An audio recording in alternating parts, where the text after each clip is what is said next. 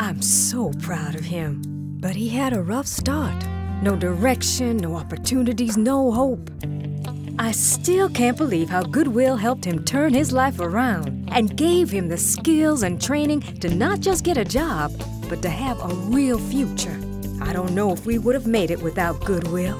That's why I donate when I can. I want others to have the same chance because what Goodwill can do with your donations is pretty amazing.